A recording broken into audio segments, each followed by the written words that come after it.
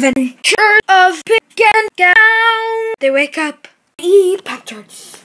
You could call them Cow and Pig, but we like to call them The Adventures of Pig and Cow plus Cow and Dun Dun. Previously on The Adventures of Pig and Cow, they have escaped onto a pirate ship. But Pig has been accused of stealing Cow's Pop Tarts and is now almost going overboard.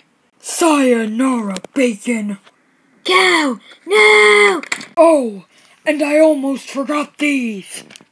These don't even fit me! This is my ship now. I'm Captain Cow. If, if you're Captain Cow, then I'm Pirate Pig.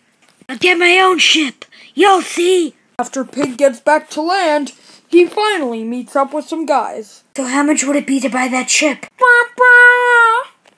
50 mil. How much you got? Um, I have a Pop Tart. What can I buy with that?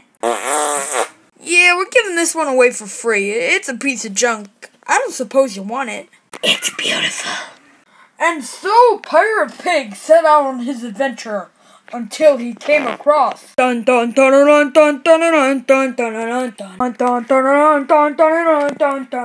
Pig, I don't think you want to do this, do you? Why, you chicken? No, it's because your ship is broken and small, and mine is a fully functional deluxe pirate ship. I don't know what you're talking about. So you want to do this?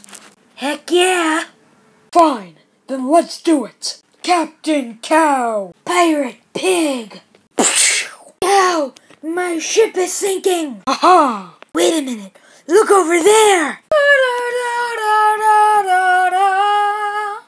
It's all we've ever wanted. It's all we've ever dreamed of. It's Pop Tart Land.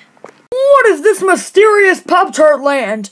And will it be good or bad to Pig and Cow? Find out in the next episode of The Adventures of Pig and Cow. Oh, hey, I'm pretty good at the theme song. They wake up, they eat Pop Tarts.